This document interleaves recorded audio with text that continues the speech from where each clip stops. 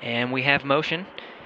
You see Dragon physically separating from the International Space Station 132 a.m. Central Time, the International Space Station 253 statute miles over Sedan.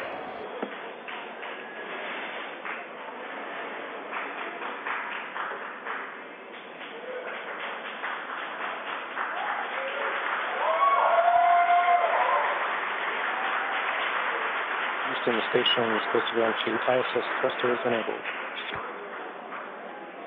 Copy.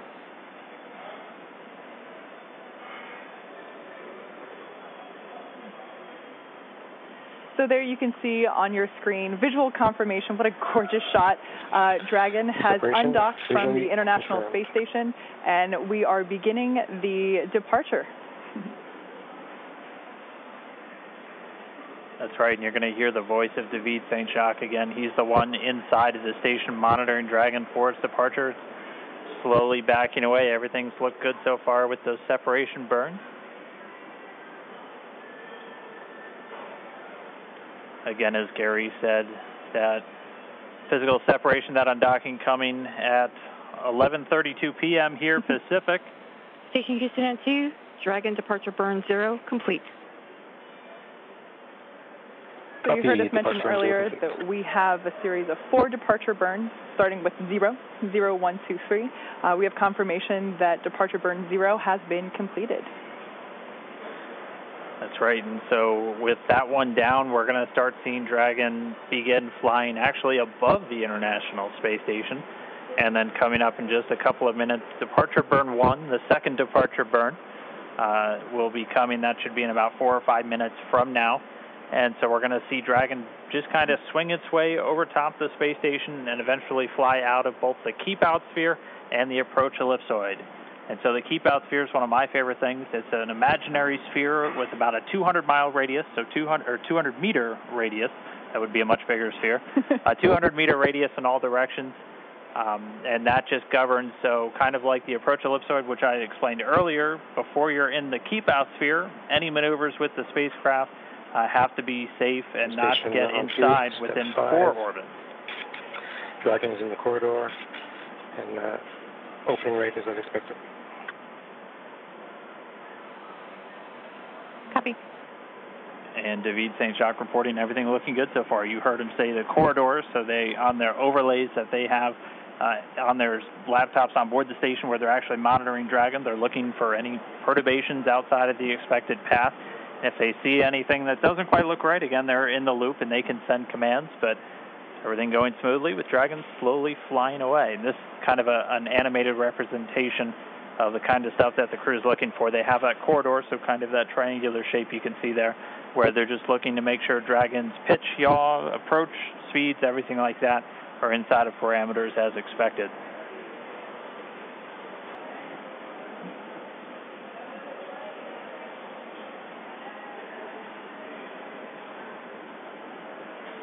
Dragon continuing to fly free.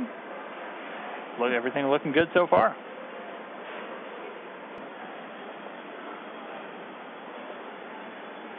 So just in case if you've, in case you've just tuned in, we are currently watching Dragon as it departs from the International Space Station.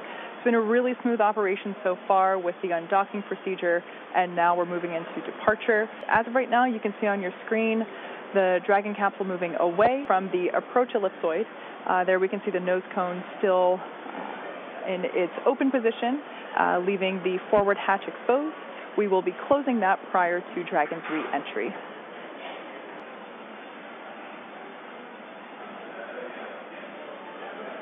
And so we're continuing to get really great views. Dragon backdrop by the inky blackness of space. You'll see the, the cameras are a little bit jerky in their in their motions. They're actually being controlled by somebody on the ground in mission control.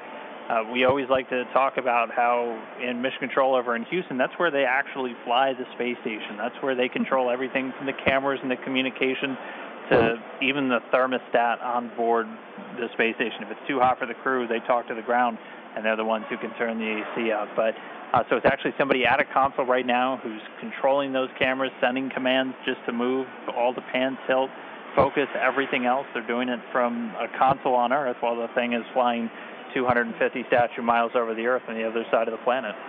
Like Dan mentioned before, uh, we're going really fast right now. um, we're at about 17 and a half thousand miles per hour, so everything is moving very quickly. The need to readjust the cameras very frequently is inherent due to the high velocities that we're dealing with. And so this is a view from that WB-57 airplane. You were looking at Dragon streaking across the sky on its reentry through the Earth's atmosphere, aiming for a splashdown in just a little while from now.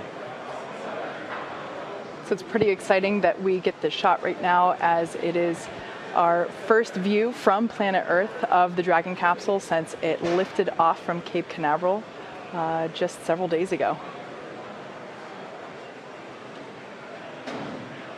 I will say this is this is a pretty rare treat to be able to see this here. And again, this this video is coming from a NASA airplane that uh, we're flying around that recovery zone there, a WB-57. It's commonly used for a lot of atmospheric studies and other science missions, uh, but able to put a tracking camera on it to try and get uh, this uh, reentry through the Earth's atmosphere today. We're hearing that they should have AOSO acquisition, acquisition of signal back with the Dragon spacecraft. Right now it's about 46 kilometers in altitude. The Dragon spacecraft continuing to descend. It's now subsonic, so already starting to slow down thanks to the aerobraking, basically slamming into that Earth's atmosphere, causes a lot of friction and allows the vehicle to eventually uh, reach its terminal velocity, basically. Uh, and then those parachutes are going to kick in.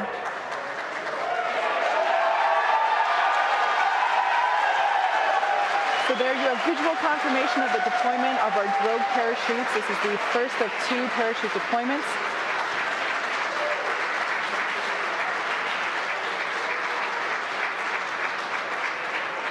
So those drogue chutes do the initial slowing and then they're ultimately going to pull out the four main parachutes responsible for really slowing the spacecraft down prior to that splashdown.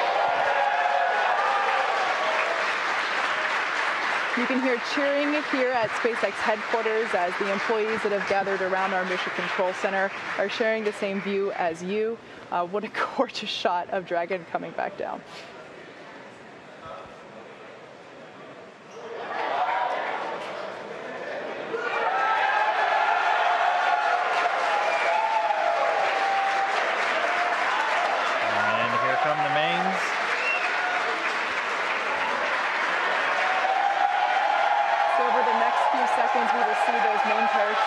exactly like that begin to expand as they capture more air, further decelerating the Dragon vehicle down to the Atlantic Ocean.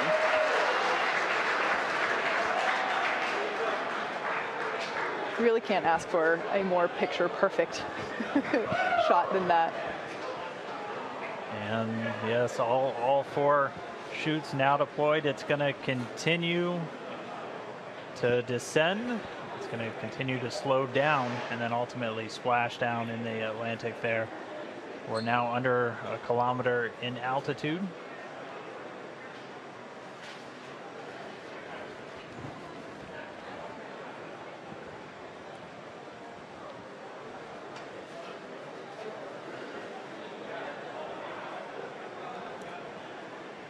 Just about 750 meters to go.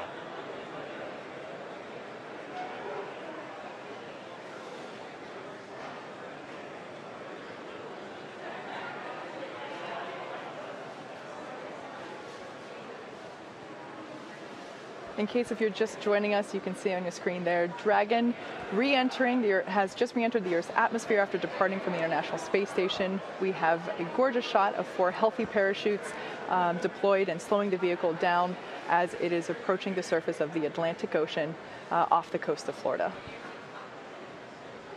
And it's continuing to descend under those chutes. We just passed 500 meters. Everything continuing to look good via reports to all the flight control teams. Now we're at about 400 meters.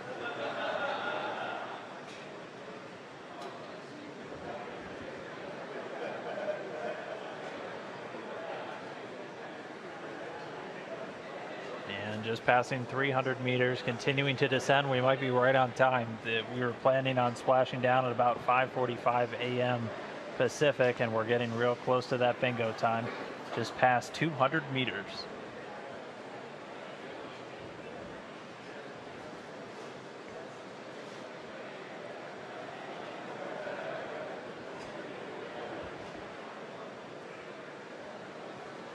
and we have confirmation that Dragon is now under 100 meters, uh, is 100 meters above the, the surface of the ocean. So next up, standing by for splashdown.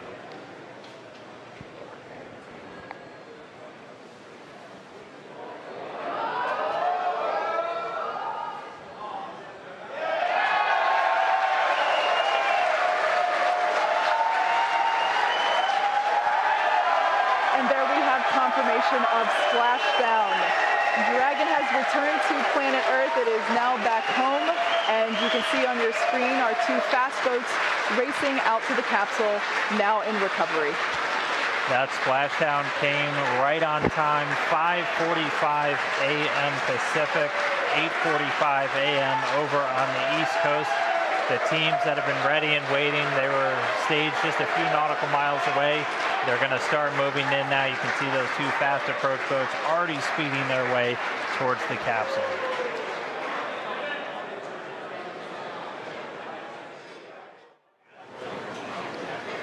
Right now we're just waiting for Dragon to lift up and out of the water and into the nest. And there it goes. So there facing us is what we call the side hatch, and that is where, as Dan just mentioned, the astronauts would, if we had astronauts on board today, where they would be exiting. Um, the top hatch is what we use to connect to the ISS, and that is currently hidden underneath the nose cone. Um, but like we said, astronauts will be coming out of the side hatch. Um, yeah, and we got a beautiful shot there. Now the hydraulic lift is coming back uh, uh, back towards us, um, and it is preparing to lower the Dragon capsule into its nest.